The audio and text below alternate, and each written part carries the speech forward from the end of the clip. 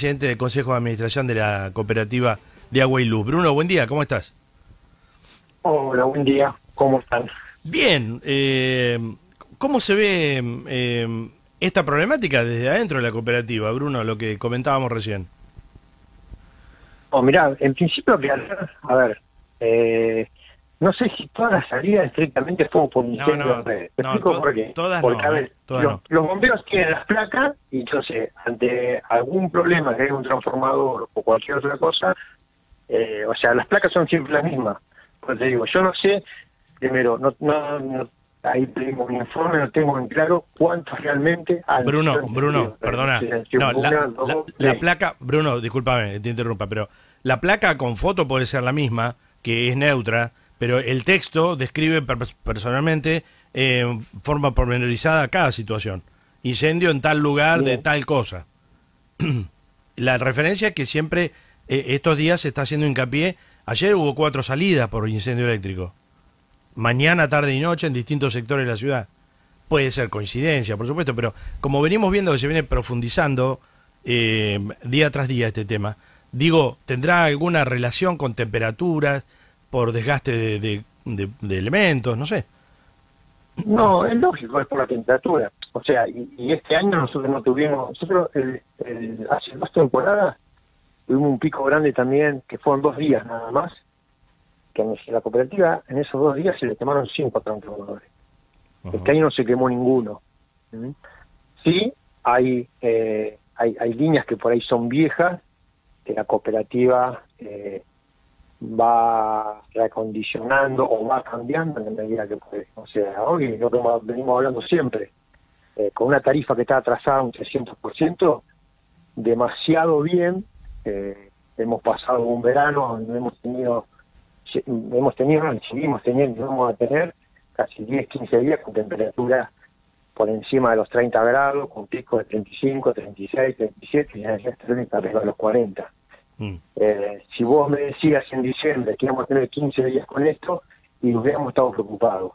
Y la verdad que la pasamos eh, bastante bien, no, no, pues, he- hechos muy, muy, muy puntuales, pero no ha habido cortes, o sea, esa, esa, hace dos veranos estuvimos en Valeria prácticamente 10 horas sin luz, Hmm. porque se quemaron en el sector de Valeria casi Sí, tres transformadores.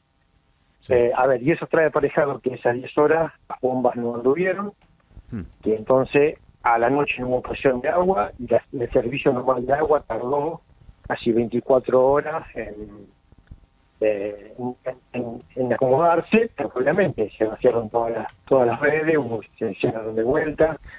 Eh, la verdad que no, o sea, los grandes, o sea, grandes sectores sin luz que hayan estado, no, no hubo.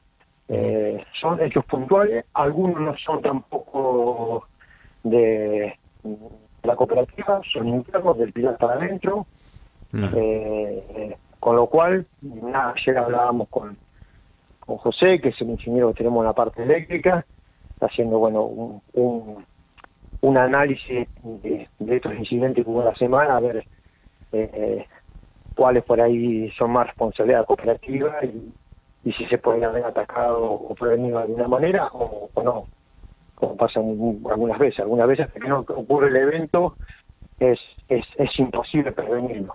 Sí, la cooperativa este año, diría los últimos cuatro meses más o menos, de octubre, septiembre en adelante, eh, hizo un mantenimiento importante de que es cámaras transformadoras, eh, las que son subterráneas, algunas aéreas, y bueno, que nos permitió pasar un verano sin, sin tener prácticamente ningún incidente de, de un transformador que se hubiera quemado, ¿no?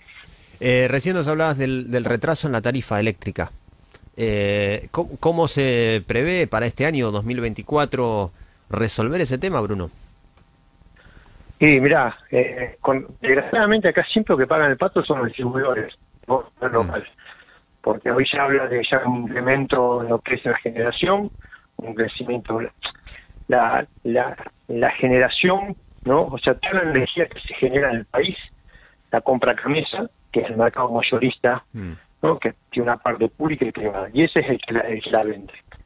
A, a los distribuidores, eh, eh, eso cada seis meses, es, o sea, camisa Te, te estamos escuchando entrecortado, Bruno. Arrimate si está, no sé si está mano libre, no sé cuál eh, eh, tema No, de no, señal. no, hay- ahora, A ver, a ver ahí. ahora, ahora. Sí, Sí. probablemente ahí te ¿Mejor? tomo. Sí, ahí mejoró. Bueno, te decía que toda la energía que se produce en el país la, la compra Camisa, que es el mercado mayorista a nivel nacional, que es público-privado. Y esa energía, Camisa, todos los que la, la generan, la pagan en dólares. Y obviamente después ese precio cada seis meses se actualiza eh, y está en dólares. O sea que ya con respecto a eso, en febrero ya se ve un fuerte incremento en lo que es la parte de generación, de más del 100%, que fue la devaluación que hubo eh, entre diciembre y, y- y octubre. Eh, a ra- la parte de eso también hubo un, un incremento que se está definiendo, un incremento para lo que es el sector transporte, que es la otra Hmm. pata de la tarifa de la luz. Y lo último, que todavía no se sabe cuándo se va a aumentar y en qué manera y cómo se va a escalonar, es el aumento de lo que es la, la- la distribución, que es lo que le toca a la cooperativa, donde se nutre la cooperativa para, para bueno, para, para poder dar, dar el servicio. Eh, eso todavía no está claro, no, no, eso, esa, eso lo pone la provincia, solución a nivel nacional, y la provincia todavía no ha definido qué, qué, qué es lo que va a hacer con, con ese aumento, ¿no? Bueno, el tema que recae siempre en Sí, el, en el podríamos estar hablando-. ¿Eh? Eh, digo que va a recaer todo esto en el, en el contribuyente. Y sí, sí, Por eso, eh, ¿considerás que va a ser un aumento duro, fuerte? Y yo estimo que, no sé, de acá a tres meses, cuatro meses, marzo, abril, debemos estar hablando de un menos de un 200%, entre un 200 y 300%. 200, 300%. Eh, eh, y a ver, y eso no acomoda la situación de la cooperativa, es que Tampoco, totalmente claro, ajena a eso. Claro. Sigue no acomoda la situación de la cooperativa. Com- compensa Eh, el desfasaje, nada más. que- lo que- claro, lo que está atras- atrasado hoy, que hablamos de un 100%, un 300%, es eh, lo que es el VAL, que llamamos nosotros, que es el valor agregado de distribución, que es la componente de la energía que le queda a la cooperativa, de la cual la cooperativa tiene un- una porción, con lo cual eh, nuestra cooperativa y todas las cooperativas de la provincia de Buenos Aires, o distribuidoras de la provincia de Buenos Aires, eh, eh, obtienen su beneficio para poder para poder mantenerse. Bueno, eso todavía no, o sea, no no no está definido cuándo se va a aumentar, cómo se va a aumentar y es lo que está al margen de lo demás, es lo que está atrasado también entre un 200 y Eh, un 300%. El tema de las tarifas, por ejemplo, tarifa social y subsidios para los usuarios, ¿eso sigue vigente? Eso por ahora sigue vigente, sí. Por ahora Sí. sí. Sí, sí eso, bueno, eso, eso nos- a la cooperativa le llega un padrón con quien nos alcanza o la tarifa social o los subsidios y ese padrón se traslada eh, a, a la facturación, ¿no? Pero no, no hay novedades de que eso se vaya a quitar. No, por ahora no, Bueno. Bueno. no, por Bien. ahora no. Bien. Che, es un placer escucharlo a ustedes dos, ¿eh? Bueno, Están ¿qué va a tirando una buena noticia. Bruno, es, es la realidad. Bruno, ahora, ahora pone- damos vuelta a la hoja, Bruno. Vamos Claro. a las buenas noticias. Qué difícil se va a poner, Ay, Bruno, bueno, la verdad, ¿no? No, Vamos, a- tener un año va- muy difícil. Va a ser eh, un año sumamente complicado, ¿eh? donde nada, va a tener que se va a tener que extremar todo lo que es los eh, lo- los gastos y, y bueno y esperar que, que transcurra lo más lo más eh, leve posible, ¿no? Hmm. Sí, claro. eh, va, va, va a haber que cuidar mucho. Va a haber que cuidar mucho. Eh, Bruno, al tema de... Mira, saca- sacamos y cambiamos de tema. Eh, estafa, llamado, me llamaron de la CAL, me avisan de la CAL que tengo que hacer tal cosa. Eh, ¿Están eh, advertidos sobre estafas en nombre de CAL? Sí, sí, más la, cooperativa está, te diría, cada dos días, tres días, está sacando en las redes sociales placas, recordando que la, desde la cooperativa no, no, no se llama a nadie, ¿eh? ni para avisarle ni que se va a cortar el, el servicio, a ver, porque hay dos o tres modalidades. Una es que van a cortar, a ver en qué momento te conviene que te corten, si a la Mm. mañana o a Sí, la tarde. sí.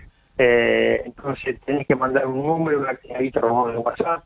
Eh, la otra también es porque estás leyendo, eh, eh, a- empezaron a llamar y seguramente en el tercer o cuarto que te llaman enganchan a alguien que estás viendo, entonces te ofrecen a pagarte lo que sea, o un descuento, y otra vez te mandan algún código, te roban el WhatsApp. Hmm. Bueno, esa, hay dos o tres modalidades distintas que, que hace, diría, dos o tres meses que, que, que bueno, que, que, que es notorio ese tipo de llamado, ¿no? Bueno, Claro. recordar a la gente que la cooperativa eh, no lo van a llamar, ¿eh? Bien, No, eso es importante. algo que sea algo muy muy, muy, muy puntual, pero a ver, la cooperativa, sus, sus cortes programados, eh, los, los programa, eh, los anuncia y los Claro, realiza, no claro. está llamando usuario por usuario a ver a qué hora le conviene. Obviamente, no nu- nunca podríamos hacer un corte por mantenimiento porque nadie- todos, todos se van a poner de acuerdo. Claro, sería nada, imposible. tratamos, Claro. tratamos siempre que sea en la mañana temprano, que es el horario que menos afecta, además en época por ahí en, en noviembre, diciembre,